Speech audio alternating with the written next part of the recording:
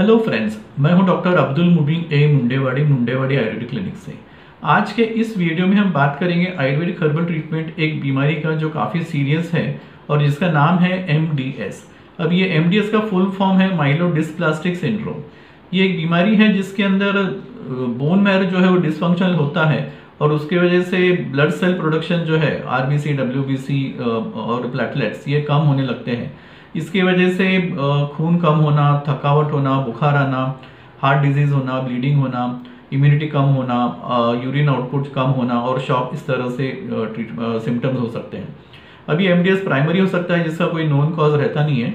और secondary M usually कोई दूसरे कॉज की वजह से होता है, जैसे after effect of chemotherapy radiation therapy viral infection chemicals का एक्सपोजर या फिर जेनेटिक प्री डिस्पोजिशन की वजह से। ये आमतौर पे थोड़ा सा जो सीनियर लोग हैं एज से एज में उन लोगों को होता है।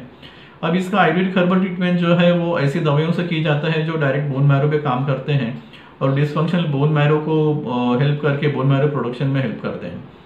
तो जो मेडिसिन बोन मैरो पे डायरेक्टली काम करते हैं, इसके अलावा ब्लड रक्त धातु पे और सर्कुलेटरी सिस्टम पे और लिवर और स्प्लीन पे जो काम करती हैं, वो दवाइयों वो दवाइयों को हाई डोज में देना पड़ता है और काफ़ी लंबे टाइम तक देना पड़ता है। आमतौर पे नौ छः से नौ महीने का ट्रीटमेंट करना पड़ता है, लेकिन कभी कभी कुछ पेशेंट्स को इससे ज़्यादा भी ट्रीटमेंट देना पड़ता है। और मेन जो इसमें ट्रीटमेंट है ये आयुर्वेदिक ओरल मेडिकेशन इसके साथ साथ एक स्पेशल टाइप का ट्रीटमेंट है जिसको बोलते हैं मज्जा मज्जा बस्ती। और ये एक स्पेशल टाइप का बस्ती है जो जो बोन मैरो ट्रांसप्लांट किया जाता है मॉडर्न मेडिसिन में। उसका ये कि एक क्रूड फॉर्म या क्रूड माइक्रो फॉर्म समझ समझ सकते हैं इसको। तो ये दोनों का कॉम्बिनेशन में एमडीएस के काफ़ी पेशेंट्स या ज़्यादातर पेशेंट्स अच्छे होते हैं, पूरे रिमिशन में जाते हैं। और इसके बाद कुछ टाइम और मेडिसिन अगर कंटिन्यू करते रहेंगे तो रिलैप्स भी होता नहीं है। तो फ्रेंड्स इस तरह से एमडीएस एक बहुत सीरियस बीमारी है, लेकिन इसका आयुर्वेदिक हर्बल ट्रीटमेंट बहुत इफ़ेक्टिव है और पेशेंट्स को सही ढंग से ट्रीट कर सकते हैं और क्योर कर सकते हैं।